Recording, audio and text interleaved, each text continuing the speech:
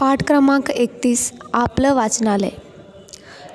प्यारे बच्चों, आपलं वाचनालय, ये एक मुकालमा यानी संवाद है. इसके माने होते हैं बातचीत कन्वर्सेशन के. बच्चों, इस मुकालमे में दो दोस्तों के दरमियान बातचीत बताई गई है। इस तस्वीर को बगौर देखिए। सुहास एक बच्चा है, इसके वालिद की ये रद्दी की दुकान है। जहाँ बैठा सुहास कुछ काम कर रहा है। तभी उसका दोस्त अतुल वहाँ आता है। तो आइए बच्चों हम देखते हैं कि सुहास और अतुल के दरमियान क्या बातचीत होती है।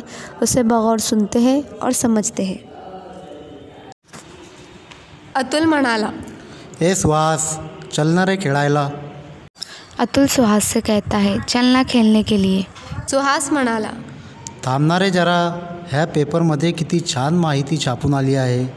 ह्या माहितीचं कात्रण कापून घेतो मग जाऊया ना खेळायला? सुहास अतुल से कहता है थामना रे ज़रा यानी कि रुक ना ज़रा. इस पेपर में कितनी अच्छी माहिती यानी कि मालूमात छप कर आई है. इस मालूमात की कतरन काट लेता हो फिर चलते हैं ना खेलने के लिए. अतुल म्हणाला तू एवढ्या कात्रणाच्या करतोस तरी काय? अतुल सुहास से पूछता है तू इतनी सारी पेपर कटिंग का क्या करेगा?